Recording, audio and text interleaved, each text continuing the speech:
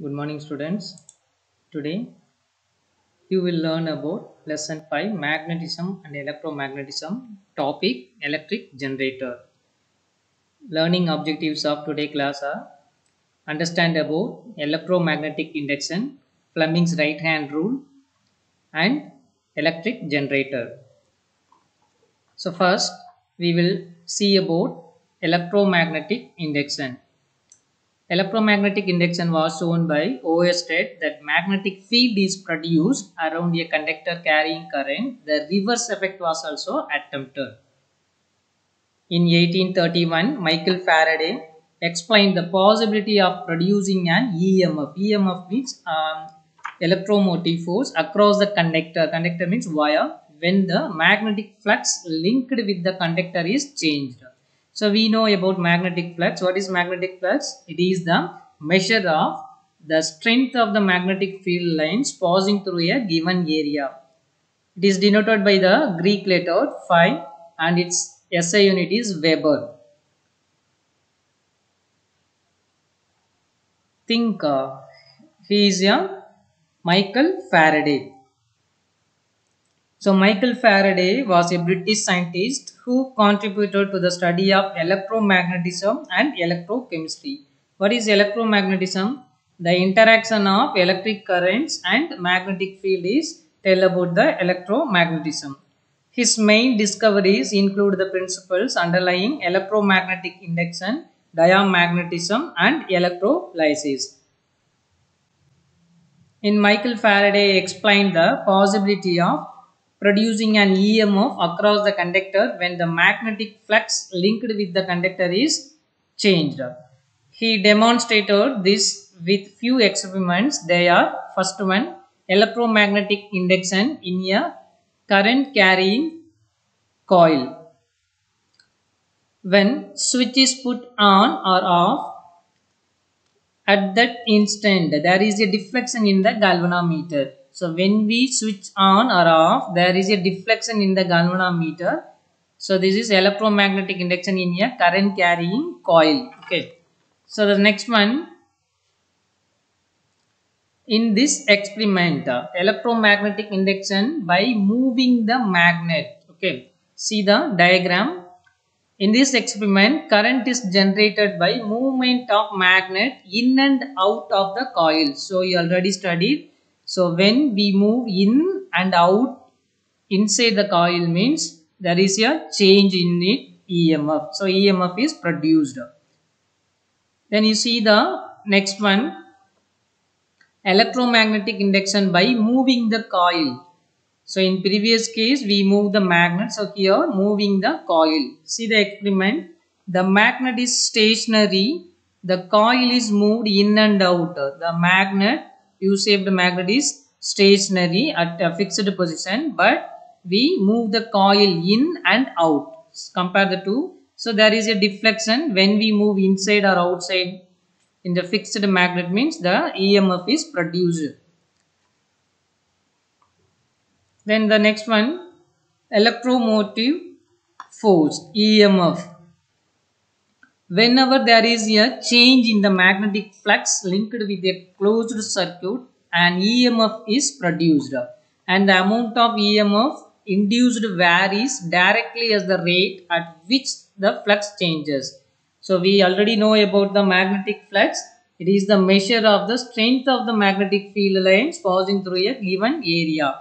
So whenever there is a change in the magnetic flux uh, linked with a closed circuit, magnetic flux changes it produces the emf so the amount of emf it varies directly as the rate at which the flux changes okay? Then next one this emf this type of emf is known as induced emf what is induced emf whenever there is a change in the magnetic flux linked with a closed circuit and emf is produced. So this type of emf is induced emf and the phenomenon is of producing an induced EMF due to change in the magnetic flux linked with a closed circuit is known as electromagnetic induction. So these two are very very important questions. What is called induced EMF means there is a change in the magnetic flux linked with a closed circuit means the emf is produced that type of emf is induced emf so this phenomenon of producing the induced emf due to change in the magnetic flux linked with a closed circuit is known as electromagnetic induction. Then we move to the important topic Fleming's right hand rule. See the diagram? So this indicate motion or force of then the forefinger indicate magnetic field b then this finger indicate induced current so induced emf produce the induced current. So stretch the thumb forefinger and middle finger of your right hand. What is the condition? Mutually perpendicular to each other. See there is a 90 degree angle between the two fingers. Okay. So stretch the thumb forefinger and middle finger of your right hand. Mutually perpendicular to each other the forefinger indicate the direction of magnetic field and the thumb indicate the direction of motion of the conductor or force F.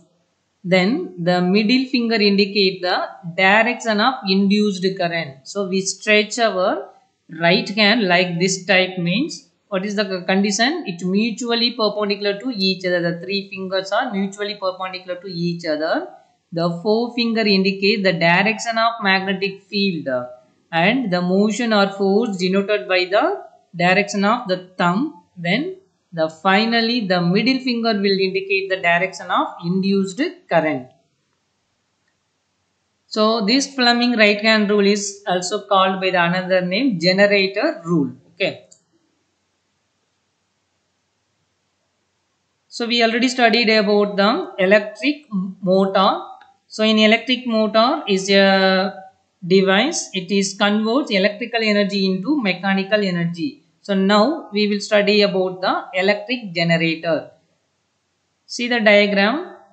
An alternative alternating current AC generator is shown in figure consists of rotating rectangular coil ABCD. See ABCD is a rectangular coil. It called armature placed between the two poles of a permanent magnet, so north pole and south pole. So the armature is placed between the two poles, north and south pole of a permanent magnet. The two ends of this coil are connected to two slip rings that is very very important. In electric motor we use split type of rings but in electric generator we use the two slip rings S1 and S2. See the diagram. In this diagram N and S permanent magnets then ABCD. See ABCD is a rectangular coil or the other name armature then here S1 and S2 two are slip rings are then B1 and B2 B1 and B2 are called carbon brushes okay so the two ends of this coil the end D and A connected to two slip rings S1 and S2 the inner sides of these rings are insulated Two conducting stationary brushes B1 and B2 are kept separately on the rings S1 and S2. So B1 is connected with S1 then B2 connect with S2. So it kept separately on the rings S1 and S2 respectively. The two rings S1 and S2 are internally attached to an axle. So S1 ring, S2 slip ring both are internally connected to an axle. The axle may be mechanically rotated outside to inside. So you see the mechanical mechanically it rotated inside the magnet permanent magnet. It is um, rotated outside to rotate the coil inside the magnet. So we know uh, the magnets are stationary but the coil is move inner outside means there is a induced EMF is produced in the coil. So it produces the induced current. So outer ends of these two brushes are connected to the external circuit. So this is the external circuit. So the outer end of A and outer end of D, that is B1 and B2 are connected in the outer circuit. Then next one, when the coil is rotated, it moves outward to inward means the magnetic flux linked with the coil changes. So there is a movement in the coil with stationary magnet means the magnetic flux or changes. So this change in magnetic flux will lead to generation of induced current. The direction of the induced current is given by Fleming right hand rule. So what is Fleming right hand rule? We stretch the thumb, forefinger and middle finger of our right hand mutually perpendicular to each other means the forefinger indicates the direction of magnetic field and the thumb indicates the direction of motion of the conductor then the middle finger will indicate the direction of induced current. So the direction of induced current is given by the Fleming right hand rule. So ABCD in the coil and in the outer circuit it flows from B2 to B1 so in this model the current is moved B2 to B1 it flows from B2 brush to B1 brush during the second half rotation. So the armature is finished the first half then it moves to the second half rotation means the direction of the current is along DCBA. You see the changes in the above diagram. The current is moved from ABCD. So ABCD in the coil and in the outer circuit it flows from B2, B2 brush to B1. See the arrow. In the next one, in the second half what about the current direction? The current direction is now changed. Now it is changed dcba so during the second half of rotation the direction of current is along dcba in the coil and in the outer circuit it flows b1 to b2 so every half rotation the direction of the current is changed. In the first half rotation what is the uh, movement of the current A, B, C, D in the outer circuit B2 to B1. What about the next one?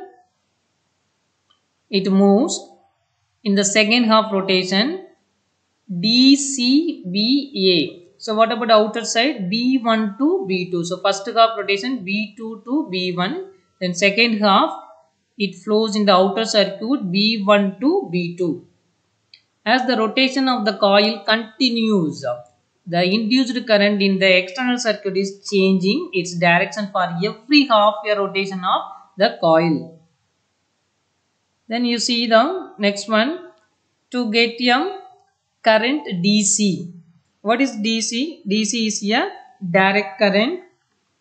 Then what is AC? AC current, alternating current. Alternating current means the direction of the current in a resistor or in any other element changes its direction alternatively. The current is called AC current.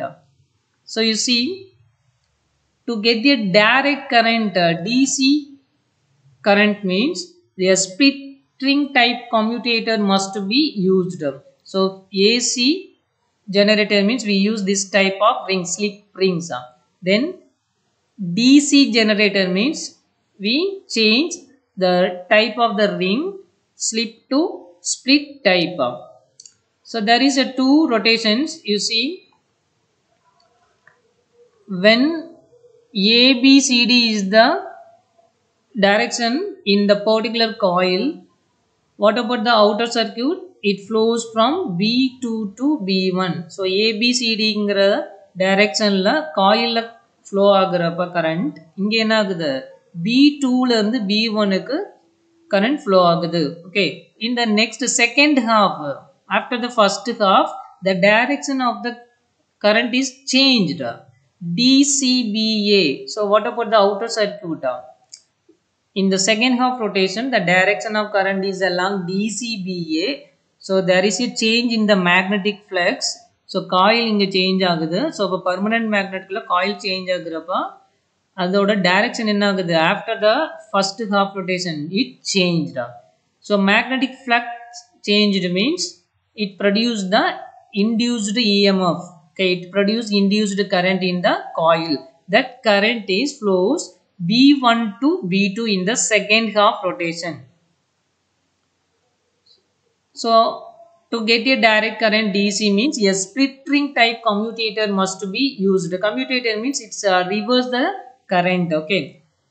So here comparison of AC and DC generators given. In AC generator we use this type of ring. So here you see the brush. In DC generator we use split ring type of commutator. With this arrangement, one brush is at all times in contact with the arm moving up in the field while the other in contact with the arm moving down. So which arm is moving up that one brush always contact with that one. So this brush is always contact with the arm which one moving up. Then other brush is moving always which arms is moves a downward direction. Okay so thus a unidirectional current is produced. The generator is thus called DC generator. So what is the only one change between the AC generator and the DC generator? So the type of the ring. So we we can um, change the AC generator to DC generator with the help of the uh, split ring commutator. So with this arrangement, one brush is all times in contact with the moving up. In a DC type of generator, one brush always contact with the arm, which one moving up. Then other one brush is contact with the arm, which moving downward direction. So we get unidirectional current. But in AC generator, the direction of the current is changed in every half rotation. So first half rotation the current flows in the coil ABCD means what about the second DCBA. So the outer circuits also the current is changed. When the current moves in the coil ABCD direction means the flow of the current in the outer circuit is B2 to B1, B2 brush to B1 brush. During the second half rotation the direction of the current is changed in the coil. So now the current direction is DCBA. So DCBA. Then what about the outer circuit? The current flows from B1 to B2. So uh, what we studied today, first we studied about the electromagnetic induction. So whenever there is a change in the magnetic flux linked with a closed circuit and EMF is produced and the amount of induced varies directly as the rate at which the flux changes. This EMF is known as induced EMF and this phenomenon of producing an induced EMF due to change in the magnetic flux is called electromagnetic induction. Then next we studied uh, about Fleming's right hand rule. What is the right hand rule? We stretch the thumb, forefinger and middle finger of our right hand mutually perpendicular to each other means the forefinger indicate the direction of magnetic field and the thumb indicate the direction of motion of the conductor then the middle finger will indicate the direction of induced current. Then lastly we studied about the electric generator. So electric generator contain two types AC generator or DC generator. Thank you students